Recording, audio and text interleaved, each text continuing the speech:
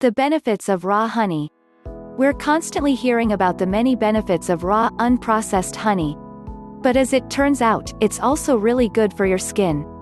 There are lots of antibacterial products on the market, and sometimes you need that sort of treatment for your face.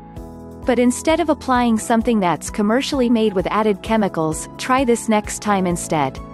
Thoroughly cleanse the spot on your skin that needs antibacterial treatment, then apply a teaspoon of raw, unprocessed honey to the area and gently massage it into the skin. Let it sit for 10 minutes and then rinse with warm water. Repeat until the infection is gone. The same type of treatment can be used as a face mask, too. After removing all of your makeup, take a teaspoon of honey and gently work it into your face. And don't worry about it stripping your skin. Honey is very calming, so it won't hurt your face at all.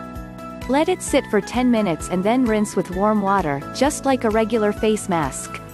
Raw honey is also anti-inflammatory, Sometimes our skin needs some cooling down, and when you're looking to adopt a more natural skincare routine you want to shy away from chemicals. So if an area on your body is irritated and inflamed, simply take a teaspoon of honey and let it sit for 10 minutes or so, just like the other treatments, and then rinse off with warm water.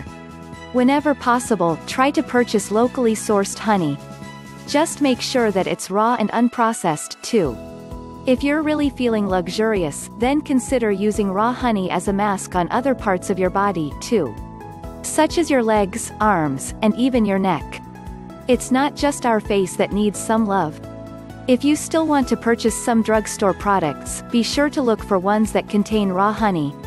There are plenty of brands out there that use this delicious nectar in their products.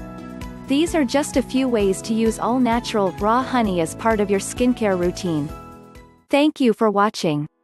If you liked the video, give it a thumbs up by clicking the like button below. If you want more recipes, remedies, and tips, please subscribe to the channel.